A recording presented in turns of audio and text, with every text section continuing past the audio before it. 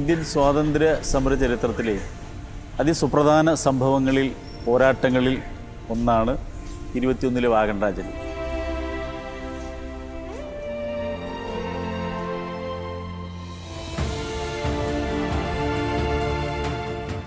ജാലിയൻ വാലാബാഗിന് സമാനമെന്നോ അതിൽ അതിലുപരിയായ ബ്രിട്ടീഷുകാരുടെ ക്രൂരതയ്ക്ക് ഇരയായിട്ടുള്ള ഒരു വിഭാഗമാണ് വാഗൻ ട്രാജഡിയിൽ രക്തസാക്ഷികളായത്.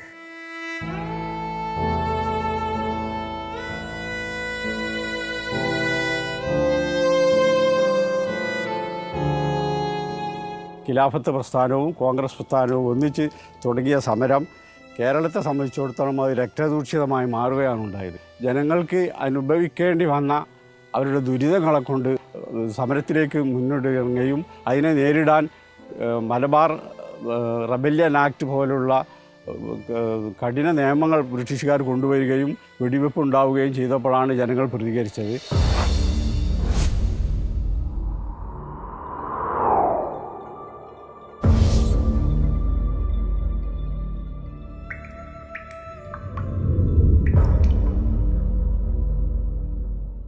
രക്തസാക്ഷികളായ എഴുപത് പേരിൽ നാൽപ്പത്തൊന്ന് പേരും പുലാമന്നൂർ പഞ്ചായത്തിൽ കുരുവമ്പലം പ്രദേശത്തുകാരാണ്. പക്ഷേ ഈ സത്യം ആ പ്രദേശത്തുകാർക്ക് പോലും അറിയില്ലായിരുന്നു. അങ്ങനെയാണ് തൊണ്ണൂറ്റി അഞ്ചിൽ ഒരു മലയാള പത്രത്തിൽ വന്ന ആർട്ടിക്കിൾ ഈ നവംബർ പത്തൊമ്പതിന് വന്ന ഒരു ആർട്ടിക്കിൾ മരണപ്പെട്ടവരുടെ പേര് വിവരങ്ങൾ വായിക്കാനിടയായത്. അങ്ങനെ വായിച്ചപ്പോഴാണ് നാൽപ്പത്തൊന്ന് പേർ ഒരു പ്രദേശത്തുകാരാണ് എന്റെ നാട്ടുകാരാണെന്ന് ഞാൻ തിരിച്ചറിയുന്നത്. അപ്പോൾ അത് വല്ലാത്തൊരു പ്രയാസം തോന്നി. കാരണം ഇത്രയും ആളുകൾ രക്തസാക്ഷികളായ ഒരു പ്രദേശത്ത് അവരെ ഓർക്കാനോ അവരെക്കുറിച്ച് ചർച്ച ചെയ്യാനോ അവസരങ്ങളോ വേദികളോ ഉണ്ടായില്ല എന്നൊരു പോരായ്മ വല്ലാത്തൊരു പ്രയാസമുണ്ടാക്കി. അങ്ങനെ ബന്ധപ്പെട്ടവരുമായി ആലോചിച്ച് ഒരു വാഗൺ ട്രാജഡി സ്മാരക സമിതിക്ക് ഞങ്ങൾ രൂപം നൽകി. ആ സമിതിയുടെ നേതൃത്വത്തിൽ രക്തസാക്ഷികൾക്ക് വേണ്ടി ഒരു സ്മാരകം പണിയാൻ സർക്കാരിനോട് സ്ഥലം ആവശ്യപ്പെട്ടു. സർക്കാർ രണ്ട് സെന്റ് ഭൂമി അഞ്ച് സെന്റാണ് നമ്മൾ ആവശ്യപ്പെട്ടത്. രണ്ട് സെന്റ് ഭൂമി അതിലേക്ക് അനുവദിക്കുകയും മലപ്പുറം ജില്ലാ പഞ്ചായത്തിന്റെ സഹായത്തോടു കൂടെ ചെറുതെങ്കിലും വാഗൻ വാഗൻ ട്രാജഡി രക്തസാക്ഷികളെ അനുസ്മരിക്കാനായിട്ട് സ്മരിക്കാനായിട്ട് ഒരു മന്ദിരം ഉണ്ടാക്കാനും ഞങ്ങൾക്ക് സാധിച്ചു.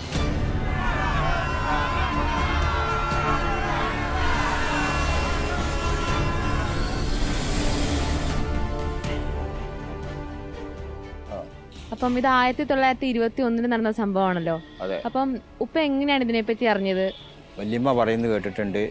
അങ്ങനെ എന്റെ വല്യപ്പ ഈ വാഹനത്തിൽപ്പെട്ട് ട്രാവൽജൻ രാജിലിറ്റി മരിച്ചിട്ടുണ്ട്.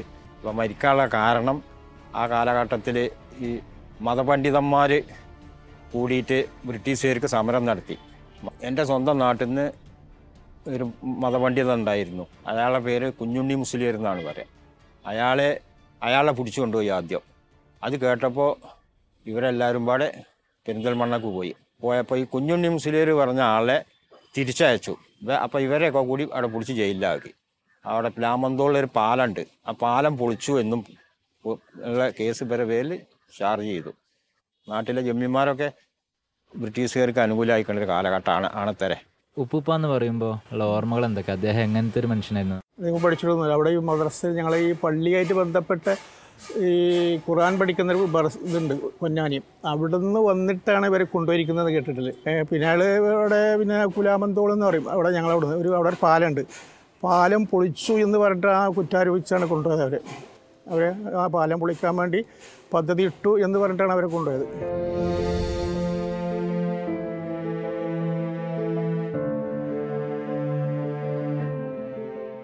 പോലീസ് അറസ്റ്റ് ചെയ്തവരെ പോത്തന്നൂർ ജയിലിലേക്ക് കൊണ്ടുപോകാൻ വേണ്ടി റെയിൽവേ സ്റ്റേഷനിൽ കൊടുന്ന് അവരെ വണ്ടിയിൽ കയറ്റുകയുണ്ടായത് അപ്പോൾ വണ്ടിയുടെ കമ്പാർട്ട്മെന്റ് ഉദ്ദേശിച്ചത് ഗൂഡ്സിന്റെ ഒരു വാഗണാണ് അവർ ഇതിൽ കയറ്റാൻ വേണ്ടി കൊടുക്കുന്നത് അപ്പോൾ അത് ജനങ്ങളെ യാത്രയ്ക്ക് ഉപയോഗിക്കുന്നതല്ല ഗൂഡ്സ് കൊണ്ടുപോകാനുള്ളതാണ്. അപ്പോൾ അത് അറിഞ്ഞുകൊണ്ട് തന്നെ അവരതിൽ കുത്തി നിറക്കുക ചെയ്തത്.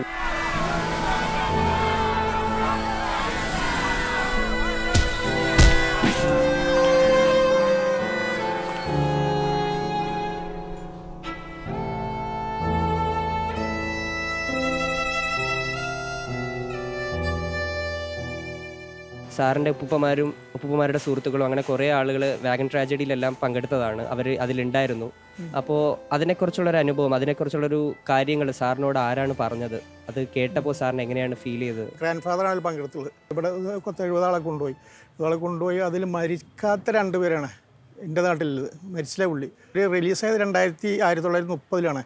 ഇത് കഴിഞ്ഞ ഒരു എട്ട് കൊല്ലം കൂടി അവർ ജയിലിൽ കിടന്നിട്ടുണ്ട്. ഇവിടുന്ന് റിലീസായ ജയിലിൽ നിന്ന് റിലീസ് എട്ട് കൊല്ലം കൊണ്ട്. അപ്പോൾ മുപ്പത് മുപ്പത്തൊന്നിലാണ് വരുന്നത്. അപ്പോൾ അവിടുന്ന് ഓരോരുത്തർ വരലുണ്ട്. ഇങ്ങനെ അവർ എന്താ അനുഭവങ്ങൾ ചോദിച്ചു. അപ്പോൾ അവരോട് പറഞ്ഞു കേട്ടാൽ ഞാൻ എനിക്കന്ന് എട്ടോ ഒമ്പത് വയസ്സുള്ളൂ അവരോട് പറഞ്ഞു കേട്ടത് ആണ് അപ്പോൾ ഞാൻ ഈ പറഞ്ഞുകൊണ്ടിരിക്കുന്നത് അപ്പോൾ അവർ പറഞ്ഞതെന്ന് വെച്ചാൽ ട്രെയിനിൽ കൊണ്ടുപോയി. അപ്പോൾ അവർക്ക് കഷ്ണോ ഇരുമ്പിന്റെ കഷ്ണമൊക്കെ കിട്ടി. ആ ദൂരത്തിലുള്ള ഓട്ടം ഉണ്ടായിട്ട് അതിൽ ഓരോരുത്തർ ഊഴം വെച്ച് പിന്നെ ശ്വാസം വിടായിരുന്നു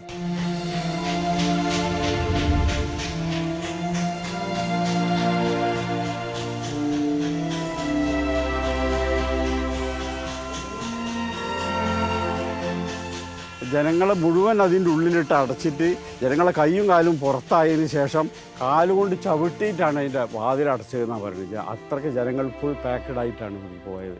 പല സ്റ്റേഷനുകളിൽ എത്തുമ്പോഴും ജനങ്ങളുടെ നിലവിളി കേട്ട് പലരും അത് തുറക്കാൻ മടിച്ച് അവസാനം കോയമ്പത്തൂരിൽ നിന്നോ ആണ് അത് തുറക്കുകയും അവസാനം ജനങ്ങളെല്ലാം കൂടി ഒട്ടിച്ചേർന്ന് മലീമസമായി മലത്തിലും മൂത്രത്തിലുമായിട്ടുള്ള അവസ്ഥയിൽ അവർ തിരിച്ചു കിട്ടുകൊണ്ട് അയക്കിയത്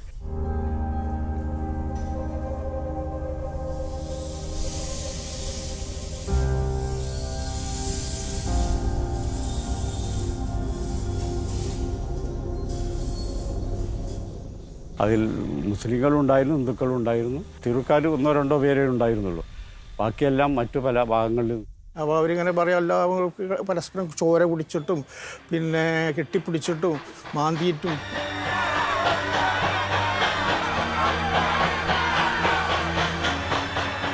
അടിമെടുക്കല്ലോൽ ആണിന്റെ വെക്കും അപ്പോൾ അവർക്ക് ശ്വാസം കിട്ടും. അങ്ങനെയാണ് കുറച്ച് ആളുകൾ ഒരു പത്ത് എട്ടു എട്ട് എട്ട് പത്ത് ആൾ രക്ഷപ്പെട്ടു തോന്നുന്നുണ്ട്. അത് രക്ഷപ്പെട്ടതിൽ ഒരാളാണ് എന്റെ ഫാദറിലോ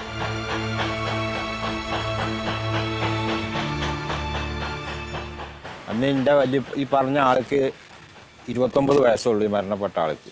ഏ എന്റെ ഉപ്പാക്കൊക്കെ അന്ന് എന്തോ രണ്ടോ രണ്ടര വയസ്സൊക്കെ ഉള്ളു. വാപ്പാടെ വാപ്പ ആസ്പത്രിയിൽ പെട്ടിട്ടോ മരിച്ചിട്ടുണ്ട് വേറെ ഇവിടെ വന്ന ആൾക്കാർ ഇവിടെ വേറെ നമ്മളെ പ്രദേശത്തുള്ള ആൾക്കാർ മൂന്നാൾക്കാരാണ് ഇവിടെ ഇപ്പം ഈ ഈ ശ്മശാനത്തിന് ഈ തിരുവൂർ ഈ പള്ളിയിലുണ്ട് അതിൽ ഒന്നിപ്പോൾ ഉള്ളത് എന്റെ വാപ്പാടെ വാപ്പാടെ വാ ഈ പറഞ്ഞപ്പെട്ട ആൾക്കാർ. അബ്ദുറഹിം എന്ന ആളാണ് അയ്യപ്പള്ളി പിന്നെ ഒന്ന് കോയിപ്പള്ളി കുട്ടിയസൻ എന്ന് പറയും. പിന്നെ ആ അതുള്ള ആൾക്കാർ പത്ത് നാൽപ്പത്തൊന്ന് ആൾക്കാർ മരിച്ചവരുണ്ട്. ഇവിടെ ഇപ്പോൾ ഈ പ്രദേശത്ത് കിടക്കുന്നവരാണ്.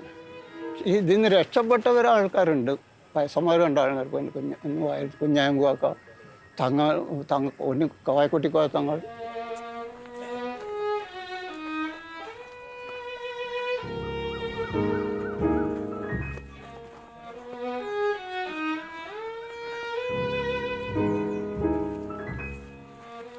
ആയിരത്തി തൊള്ളായിരത്തി എഴുപത്തൊമ്പതിൽ തിരൂര് രൂപീകൃതമായ മുനിസിപ്പൽ കൗൺസിൽ ഒരു ട്രാജഡിയുടെ മേ ഓർമ്മക്കായി ഒരു ടൗൺ ഹാൾ നിർമ്മിച്ചു. ആ ടൗൺ ഹാളിനോട് അനുബ ന്റെ നിർമ്മാണത്തിനോടനുബന്ധിച്ച് അതിൽ പങ്കെടുത്ത ആൾക്കാരുടെ ലിസ്റ്റ് കിട്ടാൻ വേണ്ടി അന്നത്തെ കൗൺസിൽ പരിശ്രമിക്കുകയും അന്ന് മദ്രാസ് സംസ്ഥാനമാണ് അന്ന് ആദ്യകാലങ്ങളിൽ. അപ്പോൾ മദ്രാസ് സംസ്ഥാനവുമായി ബന്ധപ്പെട്ടു. ബന്ധപ്പെട്ടപ്പോൾ അന്നത്തെ ഈ ദുരി ദുരന്തം ലോകം മുഴുവൻ അറിയപ്പെട്ടതാണ്. കാരണം ഇത്രയും പേരെ ഒരു കമ്പാർട്ട്മെന്റിലിട്ട് ഇങ്ങനെ ശ്വാസം മുട്ടിച്ച് കൊന്നിട്ട്. അപ്പോൾ ലോകം മുഴുവൻ ഇതിന് പ്രതികരണം ഉണ്ടായപ്പോൾ അവിടുത്തെ ഗവൺമെന്റ് ഒരു അന്വേഷണ കമ്മീഷന് വെക്കുകയും അതിൽ പങ്കെടുത്തവരുടെ ലിസ്റ്റ് ഉണ്ടാക്കി അവർക്ക് ഏതാനും പൈസ എത്ര നൂറ്റി അമ്പത് രൂപയോ എന്തോ ഓരോരുത്തർക്ക് ഇത് കോമ്പൻസേഷൻ ആയിട്ട് ഒരു ഫാമിലിക്ക് കൊടുത്തു. ആ ലിസ്റ്റ് അന്നത്തെ കൗൺസിൽ മദ്രാസിൽ ബന്ധപ്പെട്ടിട്ട് കിട്ടി. ആ ലിസ്റ്റ് പ്രകാരമുള്ള ലിസ്റ്റ് ആണ് പിന്നെ ടൗൺ ഹാളിൽ പ്രദർശിപ്പിച്ചത്. അതിന്റെ കോപ്പിയാണ് ഇവിടെ ഉണ്ടാക്കിയിട്ടുള്ളത്.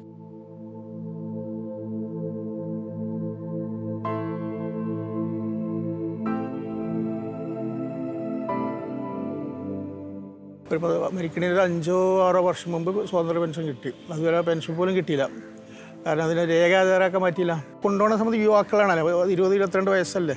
അതിനൊക്കെ തരണം ചെയ്യാനുള്ള ഒരു ഇതുണ്ട് അവർക്ക്. പ്രായമില്ല ഇല്ലല്ലോ അവർക്ക്. തിരിച്ചു വന്നതിന് ശേഷമാണ് മുപ്പത് തിരിച്ചു വന്നതിന് ശേഷമാണ് എഴുപത്തിനാല് വരെ നാല് എഴുപത് വരെ അവിടെ ഒരു ജന്മ ഉണ്ട് ജന്മവീടുണ്ട് അവ അവരെ പിന്നെ കാര്യങ്ങളൊക്കെ നോക്കി കാര്യസ്ഥനായിരുന്നു. എഴുപത്തിനാലാണ് അങ്ങനെ മരിക്കുന്നത്.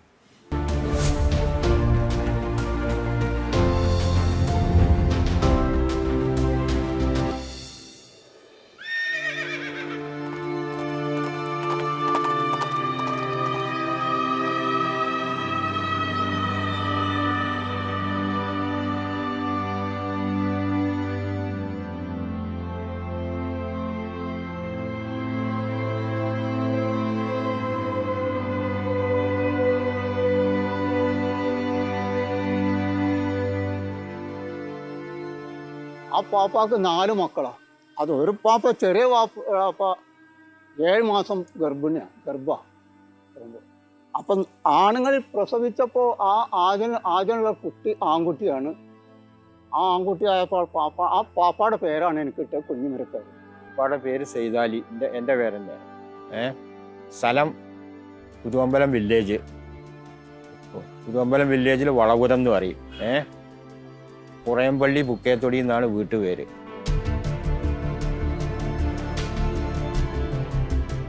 വാഗൺ ട്രാജഡി എന്ന് പറഞ്ഞാൽ എല്ലാവരും തിരൂർ തിരൂർ എന്ന് പറയും. അതിന് തിരൂരിൽ പ്രത്യേകിച്ച് ആളുകളൊന്നും അതിനകത്ത് പങ്കെടുത്തിട്ടില്ല. ഈ വാഗൺ ട്രാജഡിയിൽ പങ്കെടുത്തിട്ടില്ല. അതേസമയം തിരൂർ എങ്ങനെ വന്നു എന്ന് ചോദിച്ചാൽ ഈ തിരൂരിൽ നിന്നാണ് ഇവരെ കൊണ്ടുപോയത്. പോത്തന്നൂരിൽ കൊണ്ടുപോയി പിന്നെ ബെല്ലാരി ജയിലിലേക്ക് കൊണ്ടുപോകുന്ന വഴിക്ക് ഈ ട്രെയിൻ കയറ്റാൻ ഉപയോഗിച്ചത് തിരൂർ റെയിൽവേ സ്റ്റേഷനായിരുന്നു. അതുകൊണ്ടാണ് പിന്നെ അവരെ അടക്കം ചെയ്തതും തിരൂരിലാണ്. തിരൂരിലെ കോരങ്ങത്ത് പള്ളിയിലാണ് അവരെ അടക്കം ചെയ്തത്. അത്ര കൊണ്ടുപോകാൻ കഴിയാത്ത വിധത്തിലായിരുന്നു അവരുടെ മൃതശരീരം വന്നത്. അപ്പോൾ ആ ചരിത്രം മുഴുവൻ തിരൂരിൽ കേന്ദ്രീകരിച്ചു. തിരൂരിൽ മാത്രമാണ് ചർച്ച ചെയ്യപ്പെട്ടത്. അവരുടെ പ്രദേശങ്ങളെക്കുറിച്ചോ അവർ വന്ന വഴികൾ അവരുടെ ജന്മസ്ഥലങ്ങളെക്കുറിച്ചോ വേണ്ട വിധത്തിലുള്ള ചർച്ചകൾ ഉണ്ടായില്ല.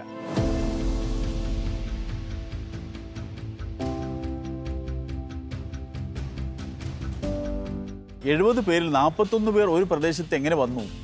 അതിനെക്കുറിച്ചുള്ള അന്വേഷണങ്ങൾ തുടർന്നുകൊണ്ടിരിക്കുകയാണ്. അപ്പോൾ ഈ മതപണ്ഡിതന്മാരെ അവരെ അറസ്റ്റ് ചെയ്യുക എന്നത് അക്കാലത്തെ ഒരു പതിവാണ് എന്നാണ് മനസ്സിലാക്കുന്നത്. അങ്ങനെയാണ് ഈ കുരുവമ്പല വില്ലേജിൽ അന്ന് അക്കാലത്ത് ജീവിച്ചിരുന്ന കുഞ്ഞുണ്ണിൽ മുസ്ലിയാർ. ആളുകൾക്കിടയിൽ സ്വാധീനമുണ്ടായിരുന്ന ആളുകൾക്ക് ബന്ധപ്പെട്ട ആളായിരുന്നു. അങ്ങനെ കുഞ്ഞുണ്ണിൽ മുസ്ലിയാരെ പട്ടാളം അറസ്റ്റ് ചെയ്യുന്നു. അതെങ്ങനെ എന്തുകൊണ്ട് അറസ്റ്റ് ചെയ്തു എന്ന് അന്വേഷിക്കാൻ അക്കാലത്തെ യുവാക്കളായ ഒരു സംഘം ആളുകൾ താലൂക്ക് ആസ്ഥാനമായ പെരിന്തൽമണ്ണയിലേക്ക് ചെല്ലുന്നു. പട്ടാളം അവരെ പിടിച്ച് അറസ്റ്റ് ചെയ്യുന്നു. അങ്ങനെയാണ് ഇത്രയും ആളുകൾ അറസ്റ്റ് ചെയ്ത ആളുകളെയൊക്കെ പിന്നീട് തൊട്ടടുത്ത ദിവസങ്ങളിലായിട്ട് തിരുവിൽ നിന്ന് പുറപ്പെട്ട ഈ വാഗണിൽ കുത്തി നിറക്കുന്നവരിൽ പെട്ടുപോയി. അതുകൊണ്ടാണ് ഒരു പ്രദേശത്ത് ഒരു ഗ്രാമപ്രദേശത്തെ ആളുകൾ ഇത്രയധികം വരാനുള്ള കാരണമെന്നാണ് അന്വേഷണത്തിൽ മനസ്സിലാക്കാൻ സാധിച്ചത്.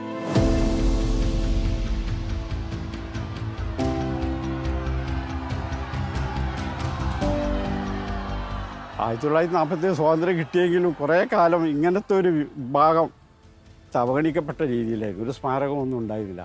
പിന്നെ കുറേ കാലം കഴിഞ്ഞപ്പോഴാണ് പല കേന്ദ്രങ്ങളിൽ നിന്നും ഇങ്ങനെ ഇത് മുറിവിളി ഉയർന്ന് അവർ സ്വാതന്ത്ര്യ സമര സേനാലയെ പരിഗണിക്കണമെന്ന് പറഞ്ഞ് അങ്ങനെ അവരെ സ്വാതന്ത്ര്യ സേനാനികളെ അംഗീകരിക്കുകയും അവർക്ക് കോമ്പൻസേഷനൊക്കെ അവരുടെ കുടുംബങ്ങളൊക്കെ കൂട്ടാനൊക്കെ ഉള്ള ശ്രമങ്ങളൊക്കെ നടക്കുകയുണ്ടായി.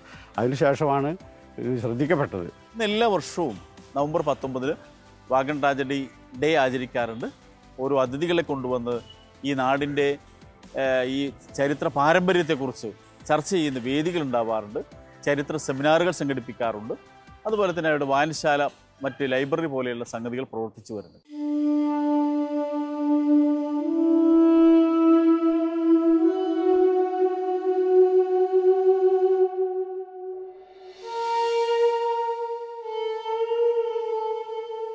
ജന്മിമാർക്കെതിരെയുള്ള പോരാട്ടം ഖിലാഫത്ത് പ്രസ്ഥാനവുമായി ബന്ധപ്പെട്ടുകൊണ്ട് ഒരുമിച്ച് പോയിരുന്നൊരു പ്രദേശമാണ് ഈ മലബാർ മേഖല. സ്വാതന്ത്ര്യ രംഗത്തേക്ക് ആളുകളെ കൊണ്ടുവരാൻ മതപണ്ഡിതന്മാർ ഒരു ഭാഗത്ത് ശ്രമിക്കുന്നു അതിന്റെ ശ്രമങ്ങൾ നടക്കുന്നുണ്ട്. അതോടൊപ്പം തന്നെ ഈ പിന്നെ ജന്മിമാർക്കെതിരെയുള്ള പോരാട്ടങ്ങളും നടന്നിട്ടുണ്ട്.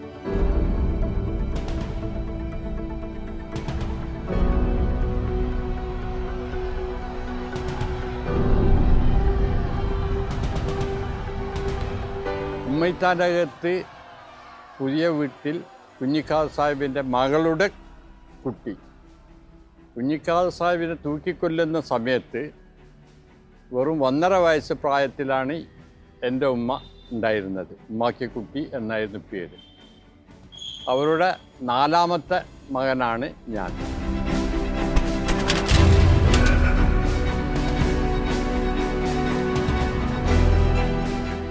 ആയിരത്തി എണ്ണൂറ്റി എൺപത്തി മൂന്നിലാണ് അവരുടെ ജനനം. ആയിരത്തി തൊള്ളായിരത്തി ഇരുപത്തിരണ്ട് ഫെബ്രുവരി ഇരുപതാം തീയതിയാണ് അവരെ ബ്രിട്ടീഷുകാർ കണ്ണൂർ വെച്ച് തൂക്കിക്കൊല്ലുന്നത്. അത്രയും കാലഘട്ടമുള്ളൂ. ഒരു നാൽപ്പത്തി മൂന്ന് നാൽപ്പത്തിനാല് വയസ്സറ്റ ആയിട്ടുള്ളൂ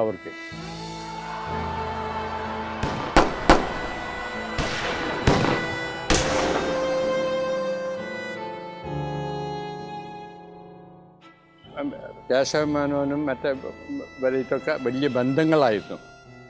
ഈ മൂപ്പര തിരൂർ താനൂർ പരപ്പനങ്ങാടി ഇതിലെ ഖിലാഫത്ത് കമ്മിറ്റിയുടെ സെക്രട്ടറി ആയിട്ട് തിരഞ്ഞെടുത്തു.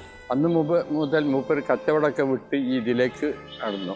അന്ന് കൃഷിക്കാർക്ക് വേണ്ടിയാണ് ഇവർ ഒരു ഇതിനു വേണ്ടി സമരത്തിന് ഇറങ്ങിയതെങ്കിലും വീണ്ടും അത് കൃഷി ഇവിടുത്തെ ഭൂജമ്മികളൊക്കെ തൊണ്ണൂറ് ശതമാനവും ബ്രിട്ടീഷുകാരെ കൂടെയായിരുന്നു അപ്പോൾ ബ്രിട്ടീഷുകാർ അവർക്ക് അനുകൂലമായി നിന്നതുകൊണ്ടാണ് അത് ഈ സ്വതന്ത്ര സമരമായി വരുന്നതും മഹാത്മാഗാന്ധിയുടെ ഈ വിദേശ നിർമ്മിതമായ മറ്റുള്ള സാധനങ്ങൾ ഉപേക്ഷിക്കണം എന്ന് പറഞ്ഞപ്പം സ്വന്തം വീട്ടിലെ മുമ്പിലുണ്ടായിരുന്ന ഒരു അഞ്ചാറ് കടകൾ ഉപയോഗിച്ച് ഈ നെയ്ത്തുകാരെ കൊണ്ടുവന്ന് അവിടെ വെച്ച് അതിന്റെ തറികളും മറ്റും വെച്ച് നെയ്ത് നാട്ടുകാർക്കും മറ്റുള്ളവർക്കും കൊടുത്തിരുന്നു. അതായത് മറ്റേ മറ്റുള്ളത് വരുത്തിക്കാതിരിക്കാൻ വേണ്ടി.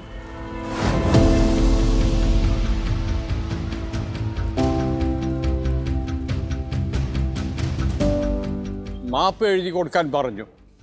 ബ്രിട്ടീഷുകാർ കോടതി. എങ്കിൽ നിങ്ങളെ ഒഴിവാക്കാം തൂക്കിക്കൊല്ലുന്നതിൽ നിന്ന് ഒഴിവാക്കാമെന്ന് പറഞ്ഞപ്പം മാപ്പ് എഴുതി തരില്ല. അതായത് നിങ്ങൾ അവസാനത്തെ ആഗ്രഹം എന്താണെന്ന് ചോദിച്ചു നമുക്ക് സ്വതന്ത്രം വേണം. എന്റെ ഉമ്മാക്ക് ഒരു കത്ത് എഴുതണം.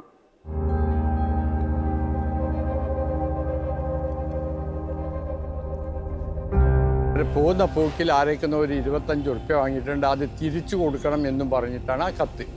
പിന്നെ പ്രാർത്ഥിക്കണം. ഭൂരിപക്ഷം ഞാൻ ഇതിൽ മരിച്ചു പോകും. എന്നെ തൂക്കി കൊല്ലാനാണ് വിധി. എങ്കിലും എന്താവുമെന്ന് പറയാൻ പറ്റില്ല എന്നറിഞ്ഞ് ഇങ്ങനെയൊക്കെയാണ് അത് ആ കത്തുണ്ടായിരുന്നു അത് നശിച്ചുപോയി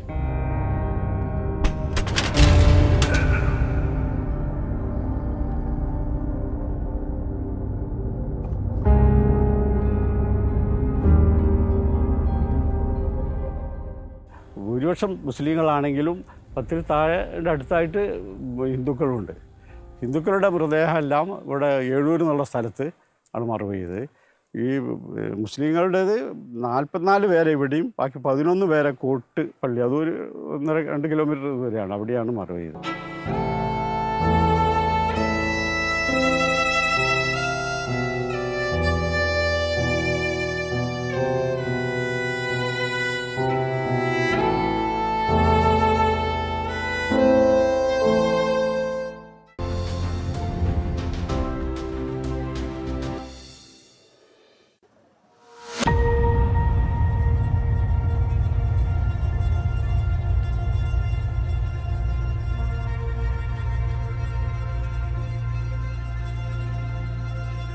കേരളത്തിലെ തന്നെ ചരിത്രപ്രസിദ്ധമായ ഒരു പള്ളിയാണ് ഈ കുറ്റിച്ചിറ മിസ്കാൽ പള്ളി. ഏകദേശം ഏഴര നൂറ്റാണ്ട് കാലത്തെ പഴക്കം ഇതിനുണ്ട് എന്നാണ് വിശ്വസിക്കപ്പെടുന്നത്.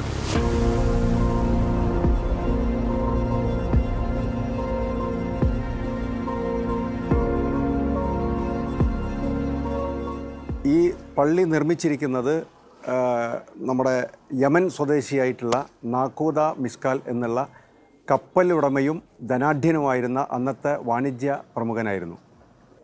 ഈ നാക്കൂദ മിസ്കാലിന്റെ സ്മരണയ്ക്ക് വേണ്ടിയാണ് അതിന് മിസ്കാൽ എന്നുള്ള മിസ്കാൽ പള്ളി എന്ന പേര് വന്നിരിക്കുന്നത്. ഏകദേശം എ ഡി ആയിരത്തി അഞ്ഞൂറ്റി പത്തിൽ ഫ്രഞ്ച് ആക്രമണത്തിന് ഇരയായിട്ടുണ്ട്. അൽബുക്കർക്കിന്റെ നേതൃത്വത്തിലുള്ള ആ ഫ്രഞ്ച് പട ഈ പള്ളി ആക്രമിക്കുകയും നിരവധി ഇതിന്റെ മിമ്പറ ഉൾപ്പെടെയുള്ള നിരവധി നാശനഷ്ടങ്ങൾ ഈ പള്ളിക്ക് ഉണ്ടാകുകയും ചെയ്തു.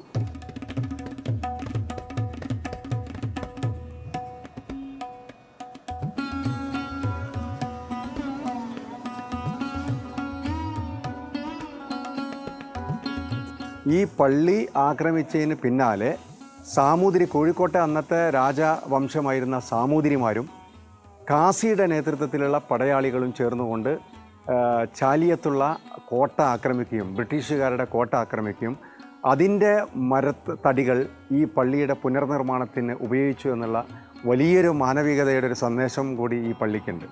അപ്പോൾ ഈ പള്ളി പുനർനിർമ്മാണം നടത്തിയിരിക്കുന്നത് ബ്രിട്ടീഷുകാരുടെ കോട്ട ആക്രമിച്ച മരത്തടികൾ ഉപയോഗിച്ചുകൊണ്ടാണ്.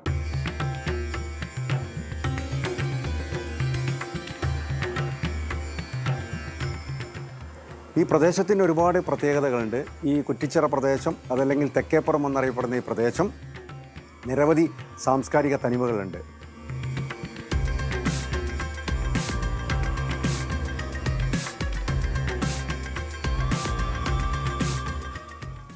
ഇവിടെ മരുമക്കത്തായ സമ്പ്രദായം നിലനിൽക്കുന്ന ഒരു പ്രദേശമാണ്. ധാരാളം പഴയ ഇരുന്നൂറും മുന്നൂറും പഴക്കമുള്ള ധാരാളം തറവാട് വീടുകളുടെ ഒരു സങ്കേതമാണ് ഈ കുറ്റിച്ചിറ പ്രദേശം.